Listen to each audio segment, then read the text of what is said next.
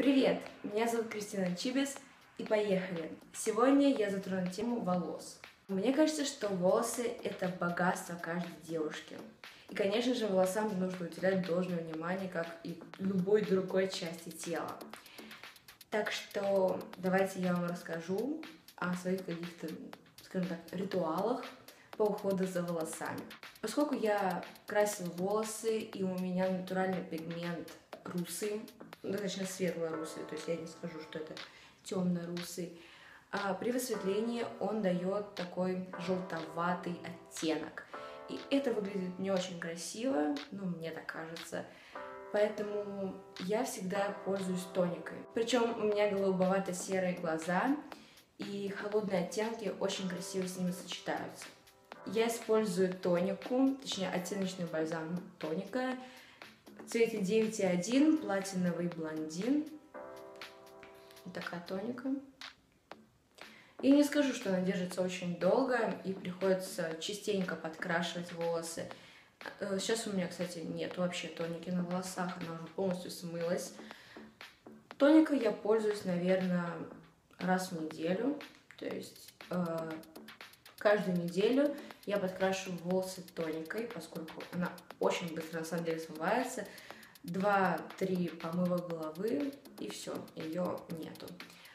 Она не портит волосы вообще. Не думаю, что на неокрашенные волосы она хорошо ляжет, потому что в обычных волосах, то есть не высветленных, есть свой пигмент. У меня этого пигмента нету, потому что у меня высветленные волосы. Объясню, в эти ячейки, которых, э, в которых был пигмент, то есть сейчас у меня нет пигмента, поскольку у меня высветленные волосы, в эти ячейки ляжет тоника. Объяснила.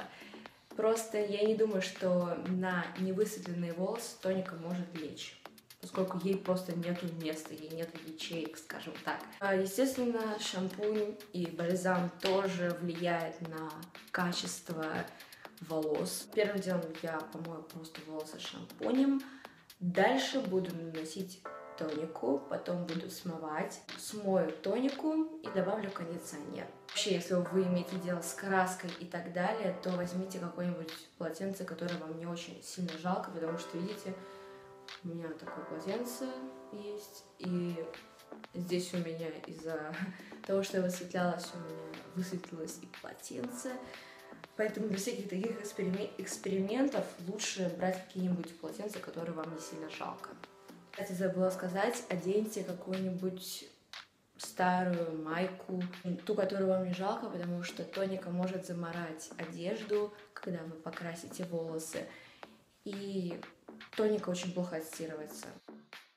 После того, как я помыла голову, я высушиваю волосы руками, чтобы с них не капала вода. Дальше мне понадобится фен, и именно с такой насадкой, чтобы было удобнее укладывать, щеточка для укладки и масло. У меня масло кокоса и миндаля. Можете взять любое другое или, например, мусс для укладки. Что вам больше нравится? Я выделяю пробор, он у меня посередине. Сушу волосы феном.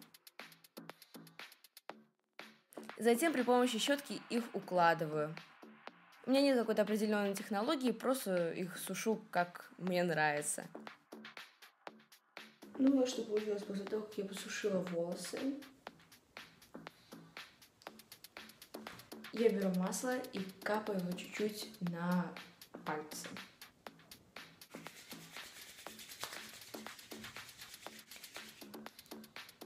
И затем просто начинаем как будто расчесывать волосы, но не до касательно до корней. Это очень важно. То есть легко-легко, прям вот вообще, вообще, вообще.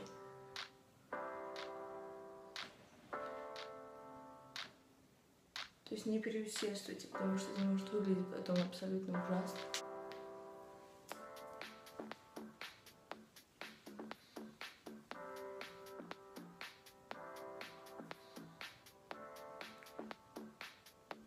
Можете даже на всю длину нанести, только будьте аккуратны, чтобы как бы, волосы не выглядели сальными, грязными.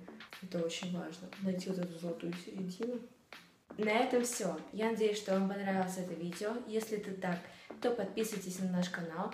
Также пишите внизу в комментариях, что вы хотите увидеть в следующем видео, и мы вам его снимем. До новых встреч и пока!